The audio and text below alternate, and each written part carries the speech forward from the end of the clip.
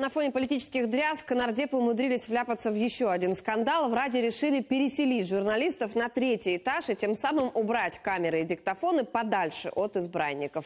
Кому выгодно удалить прессу из кулуаров, единственного места, где репортер- репортеры могут свободно пообщаться с депутатами, расскажет Екатерина Лысенко.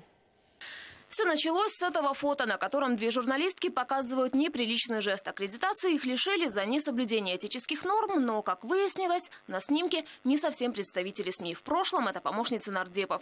После скандальной истории в аппарате Верховной Рады решили пересмотреть список тех, кто вхож в парламент.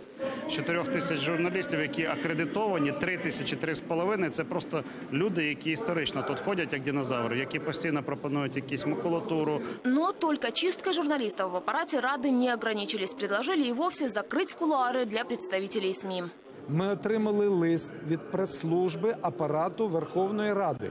Там йде мова про створення робочої групи, які роз- яка розгляне цілий ряд питань. Перше, друге, третє, п'яте. І одним з питань йшла мова про створення на третьому поверсі прес-центру По сути, сейчас единственное место, где журналисты могут получить комментарий у народных депутатов, это кулуары, второй этаж. Здесь нардепы заходят в сессионный зал, и перед входом их можно расспросить о законопроектах. На третий этаж, где предлагают создать пресс-центр и куда хотят переместить журналистов, депутаты попросту не ходят. Е, Ми будемо мати обмеження доступу, коли просто е, пост УДО стане і йому буде надано е, вказівку не пускати журналістів на другий поверх сюди, там де ми зараз знаходимося, і де знаходяться народні депутати. Журналісти, які зараз працюють в парламенті, вони будуть абсолютно ізольовані від е, комунікації з народними депутатами. В таких условиях на третьем этаже и в изоляции от нардепов журналистам уже приходилось работать. Случалось это несколько раз в 2014-м, когда в зале были закрытые заседания из-за аннексии Крыма и событий на Донбассе. Тогда представители СМИ часами ждали, чтобы к ним пришли депутаты и хоть что-нибудь рассказали. Возможности узнать деталей не было. Сейчас же предлагают подобные условия, сетуют журналисты, работающие в парламенте.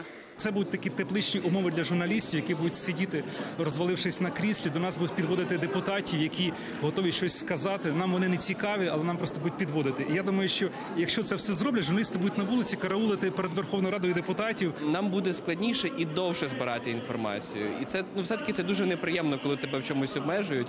І ну я не бачу цьому сенсу. Вони все одно будуть змушені з нами зустрічатися, тому що вони зацікавлені, щоб ми висвітлювали їхню діяльність. Впрочем, как оказалось, и самим нардепам не нравится идея с ограничениями.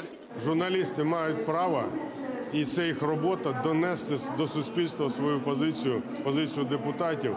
І для цього потрібні бути умови. А обмеження це шлях нікуди. Ми за повну прозорість. Ходіть де хочете. Ви нам не заважаєте. Наскільки реалістично? Ті, кому е, заважають журналісти, очевидно, їм є що ховати. В итоге в регламентном комитете все-таки признали, идея переселить представителей СМИ на этаж выше неудачная и решили всерьез задуматься о правилах аккредитации. Я вважаю, що це не найкращий спосіб регулювання ситуації. Кращим було б інше. Краще було б налагодження питання акредитації, і краще було б, якби тут працювали парламентські кореспонденти, спілкувалися з е, депутатським корпусом однією мовою. Регламентний комітет і його рішення носить рекомендаційний характер.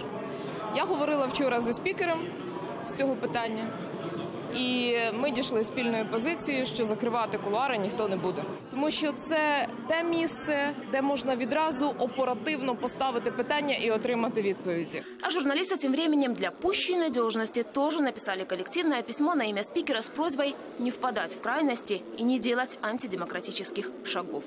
Постановление зарегистрировано. Екатерина Лысенко, Геннадий Никенко. Подробности телеканал Интер.